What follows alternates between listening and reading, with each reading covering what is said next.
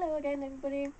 Right, this is um I'm in a book group in my local town in a local Waterstones and we pick three books every month to read and then talk about them and you know see what people liked didn't like about them and I thought I'd do like little update videos of what we're reading at that time and if you guys want to read any of them at the same time and you can let me know what you're thinking of them and what have you.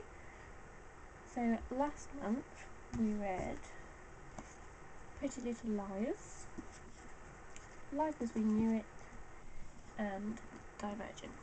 Now Divergent I'd already read so I'd told everybody that they had to read it and none of them had already which I was really surprised about.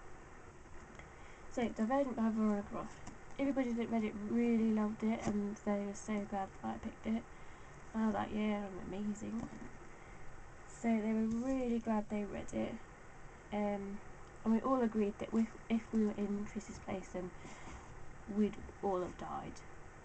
Like pretty early on.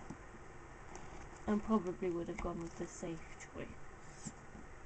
But um, yeah, everybody really loved it and if you haven't read it you really really really need to I still think this is my favourite book of the year so far and I've read it twice now and I enjoyed it just as much the second time round. We, so we read Pretty Little Liars by Sara Shepard and it was a bit I didn't really want to read it but I'd, I'd already bought it so I thought oh I might as well but just because it was so difficult to remember who everybody was. So I had to keep I'd get to like here and think oh who's that? And then I have to go back and check who it is and yeah some people didn't did the same as me. They started it and couldn't get on with it but I carried on and finished it. And we were all guessing on who the letters were from who A was and but most of them had watched like the TV show so they just went that. But I really did get into it. And everybody had something interesting going on with them.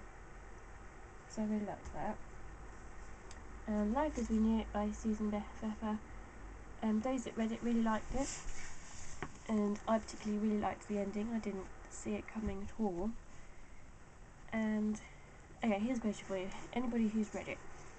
There's a bit in it when the girl, I can't even remember her name. Uh, the girl in it. We'll just say the girl in it. She is from a town where this famous ice skate comes from. And whilst everything is happening, he supposedly comes home and she ice skates with him on the frozen lake. But somebody mentioned, and I can't remember this in here, that they this person asked if I thought he was imaginary or real. That she'd imagined him coming back. And I hadn't even considered that, but apparently it says in here that she didn't know whether she'd imagined it or not. And I li I really had never even thought of it. So, if you read it, let me know if you thought of it too, or the same as me and didn't have a clue. But now that she's told me, I'm like, oh, I want to read it again now. But everybody liked it. Um, it had its moments where it was a little slow, but it always picked straight back up again. There was always something going on. And I really wanted to know what happened in the end, so I'm really glad I've got the next ones ready to read. Right, so that was this month. Next month's picks, we've got Perfect Chemistry by Simone L. Ultraviolet by R.J. Anderson, and Haunting Violet by Alyxandra Harvey.